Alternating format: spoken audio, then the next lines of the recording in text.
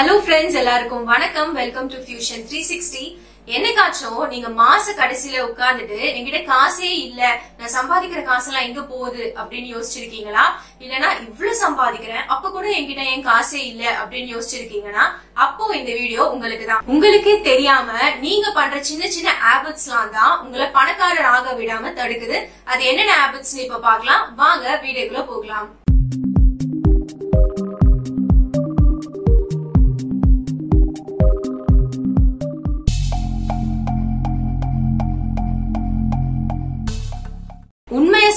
சொல்லணும்னா நம்ம எல்லாருக்குமே செலவு பண்ணணும்னா ரொம்ப பிடிக்கும். அண்ட் அதுக்கு சயின்டிபிக்காவும் எவிடன்ஸ் இருக்கு. அது என்னன்னா நீங்க உங்களுக்கு பிடிச்ச ஏதாச்சும் ஒரு பொருளை ஷாப்பிங் பண்ணும்போது இல்லைன்னா ஷாப்பிங் பண்ணணும் அப்படின்னு நினைச்சா கூட நம்மளோட பிரெயின்ல டோப்பமைன் அப்படின்னு ஒரு ஹார்மோன் ரிலீஸ் ஆகும். நீங்க ஷாப்பிங் பண்ணும்போது மட்டும் கிடையாது. நீங்க உங்களுக்கு பிடிச்ச சாப்பாடு சாப்பிடும் போதோ இல்லைன்னா எக்ஸசைஸ் பண்ணும்போது இல்லைன்னா நீங்க சந்தோஷமா இருந்தா கூட நம்மளோட பிரெயின்ல இந்த டோப்பமைன் அப்படின்ற ஒரு ஹார்மோன் ரிலீஸ் ஆகும். அது அப்படி ஆகும்போது என்னன்னா நம்மளுக்கு ஒரு ஹாப்பி ஃபீலிங் அது கொடுக்கும். அண்ட் நம்மளுக்கு அப்படி ஒரு ஹாப்பி ஃபீலிங் வரும்போது சரி ஓகே நம்மளுக்கு இது பண்ணும்போது ஹாப்பியா இருக்கு அப்படின்றதுனால நம்ம இன்னும் அந்த விஷயத்த பண்றதுக்கு நம்மளுக்கு தூண்டிவிடும். இதனாலேயே செலவு பண்ற ஹேபிட்டை குறைக்கிறது ரொம்பவே கஷ்டமா இருக்கும். நம்மளோட ஒர்க்ல ஒரு இன்க்ரிமெண்ட் ஒரு ப்ரொமோஷன் வந்தாலோ இல்லனா பிசினஸ்ல ஒரு ப்ராஃபிட் வந்தாலோ அந்த அமௌண்ட்டை நம்மளோட பிரெயின் எப்படி ஆட்டோமேட்டிக்கா செலவு பண்ணலாம் அப்படின்னு தான் திங்க் பண்ணும். அண்ட் நம்ம செலவு பண்றதுக்கு இன்னொரு ரொம்பவே முக்கியமான விஷயம் இந்த சொசைட்டி நம்ம ஹையர் பொசிஷனுக்கு போக போக நம்மளோட லைஃப் ஸ்டைல மாத்தணும் அப்படின்னு நம்மளோட பிரெயின் நம்மளுக்கு ஒரு சிக்னல் கொடுக்கும். சோ ஆட்டோமேட்டிக்கா நம்மளுக்கு வர எக்ஸ்ட்ரா காசை நம்ம என்ன பண்ணுவோம்? ஒரு பிராண்டட் க்ளோத் வாங்குவோம். இல்லனா வந்து ஒழுங்கா ஓடிட்டு இருக்க காரை எக்ஸ்சேஞ்ச் பண்ணி புது கார் வாங்குவோம். இது மாதிரிலாம் நம்மளுக்கு எக்ஸ்ட்ரா வர காசை செலவு பண்ணுவோம். பட் இது மாதிரிலாம் நம்மளுக்கு வர காசை செலவு பண்ணிட்டா நம்மளுக்கு சேவிங்ஸும் பண்ண முடியாது எதுலயும் இன்வெஸ்டும் பண்ண முடியாது அண்ட் உங்களோட ரிட்டையர்மெண்ட் பத்தி யோசிக்கவே முடியாது.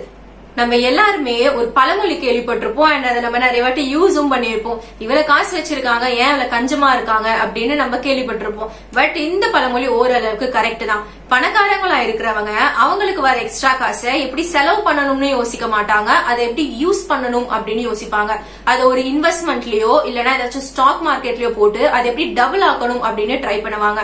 சோ நீங்களும் பணக்காரர் ஆகணும்னா உங்களுக்கு காசு அதிகமா வர வர உங்களோட செலவுகளை குறைக்கணும்.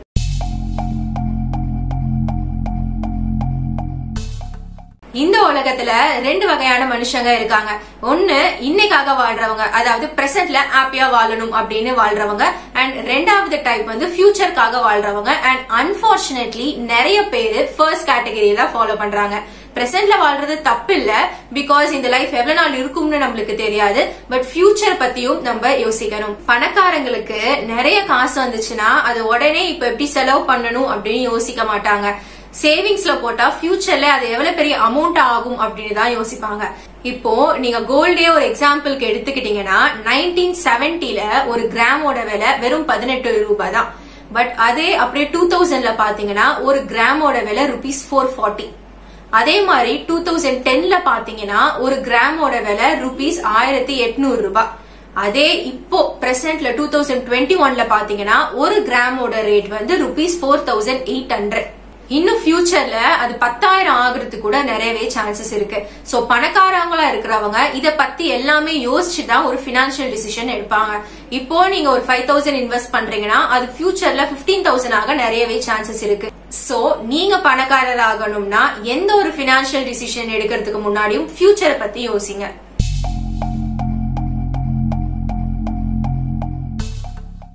இந்த பாயிண்ட் நான் என்னோட மணி சேவிங் வீடியோல நிறையவே சொல்லி இருப்பேன் அதாவது சம்பளம் வந்த நாள்ல இருந்து நீங்க என்னெல்லாம் செலவு பண்றீங்களோ அதெல்லாம் நோட் பண்ணி வைங்க அப்படின்னு. நம்ம என்ன நினைப்போம்? நமக்கு தான் எல்லாமே தெரியுமே. கார் லோனுக்கு இவ்வளவு காசு போகுது ஹவுசிங் லோனுக்கு இவ்வளவு காசு போகுது சோ என்னோட காசெல்லாம் எங்க போகுது அப்படின்னு எனக்கு தெரியும் அப்படின்னு நீங்க சொல்லலாம் பட் இது ஃபுல்லா கரெக்ட் கிடையாது. நம்ம வாங்குற சின்ன சின்ன பொருள்லாம் நம்ம கணக்குல எடுத்துக்க மாட்டோம். வெறும் நூறு ரூபாய் தானே வெறும் ஐநூறு ரூபாய் தானே அப்படின்னு நம்ம விட்டுருவோம். பட் இந்த சின்ன சின்ன செலவெல்லாம் தான் ஃபியூச்சர்ல பெரிய டிஃபரன்ஸா வந்து நிக்கும். சோ சிம்பிளா நீங்க டெய்லி என்னென்ன வாங்குறீங்க நோட் பண்ணிட்டே வாங்க. அண்ட் மந்த் எண்ட்ல பாத்தீங்கன்னா உங்களுக்கு ஈஸியா உங்களோட காசெல்லாம் நீங்க எதுக்கு செலவு பண்ணிருக்கீங்க அப்படின்னு தெரியும். அண்ட் எதெல்லாம் தேவையில்லாத செலவு அப்படின்னு உங்களுக்கு தெரியும்.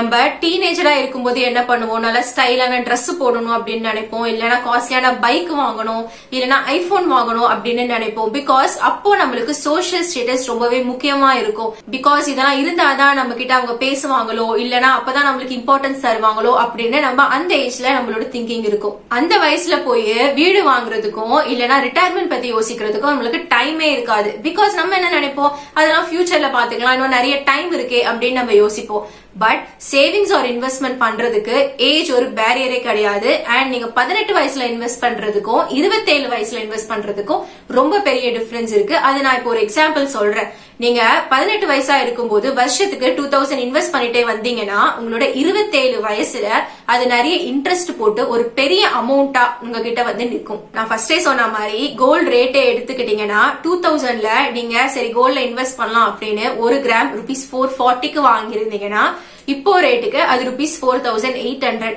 so உங்களோட profit four thousand four hundred so savings or investment பண்றதுக்கு எப்பவுமே யோசிக்காதீங்க. நல்ல சேவிங்ஸ் ஆர் இன்வெஸ்ட்மெண்ட் ஆப்ஷன் பார்த்து டக்குன்னு சேவ் பண்ணிடுங்க.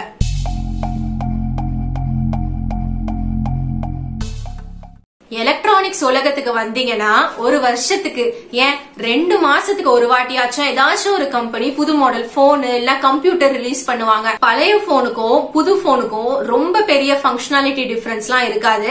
பட் கம்பெனிஸ்க்கு மனுஷங்களோட சைக்காலஜி நல்லாவே தெரியும். நியூ மாடல் போன் வாங்கிட்டா அது ஒரு பெருமை. அதை வாங்கிட்டு அந்த லோகோ தெரியற மாதிரியே மிரர் செல்ஃபி எடுத்து அவங்களோட இன்ஸ்டாகிராம்ல போடுவாங்க. அது ஒரு சந்தோஷம். பிகாஸ் நான் ஃபர்ஸ்டே சொன்ன மாதிரி நம்மளோட டோப்பமைன் ஹார்மோன் நம்மள ஏமாத்தி சந்தோஷப்படுத்தி அந்த போனை வாங்க வைக்குது. அண்ட் நம்ம மாசம் மாசம் இஎம்ஐ கட்ட முடியாம கஷ்டப்படுவோம். உங்களோட பழைய போன் நல்லாவே இருந்தா கூட எக்ஸ்ட்ரா டுவெண்ட்டி தௌசண்ட் கொடுத்து நல்ல கேமரா இருக்க போனா வாங்குவோம். பட் அதுல செல்ஃபி தவிர வேற ஒன்னும் இருக்க போறது கிடையாது.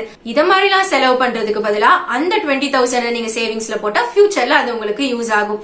சோ இன்னில இருந்து உங்களோட லைஃப்க்கு நீங்க சார்ஜ் எடுங்க. எதெல்லாம் தேவையில்லாத செலவோ அதெல்லாம் குறைச்சிடுங்க. அண்ட் சேவிங்ஸ் அண்ட் இன்வெஸ்ட்மெண்ட் ஜேர்னியை ஸ்டார்ட் பண்ணுங்க. இந்த வீடியோ பிடிச்சிருந்துச்சுன்னா ஒரு லைக் பண்ணிடுங்க. மறக்காம சேனல் சப்ஸ்கிரைப் பண்ணிக்கோங்க. நெக்ஸ்ட் வீடியோல மீட் பண்ணலாம். Till then bye bye from Jai Shri Prabhu